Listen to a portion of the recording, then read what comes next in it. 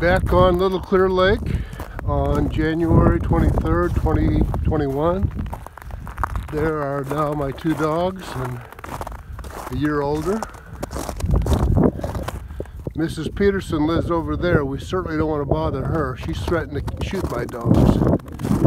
If she shoots my dogs, I'll own her farm. So there my dogs are. Keep this up for a while. It's like 10 degrees Fahrenheit. And I have uh, no mittens on right now. But I want you to see the puppies running around, enjoying themselves. And it's snowing here. You can see that too. Across that way, straight ahead, is a very nice park where people can camp in the summertime and it's closed in the winter, but uh, when, the winter, when the lake freezes over, I like to run them on here, let them get some exercise. Otis, come. Otis is the boy. He's bigger. He minds better. Here they both come. Cinder's going to come first. They're such good dogs. Cinder's like 26 months now. She's three years, she'll be just perfect. She's getting to be perfect.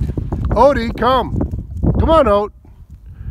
Otis is a boy. He's a little bit younger. He's very strong. And he's more mindful of me than Otis is. He keeps an eye on me. Now he's running through my legs. He learned how to do that when he was little because he'd protect himself from the girl. But now he's bigger and he can handle her. Guys. Okay, Otis, sit. Odie, sit. Cinder, sit. Cinder. Cinder, sit. Cinder, sit. Finally. Okay. Now, Odie, see, they got a ways to go. But they're being raised as family members. They're not being raised to be, I mean, they could go to a obedience school and get a lot more out of them. But they're just family. Okay, have a nice day.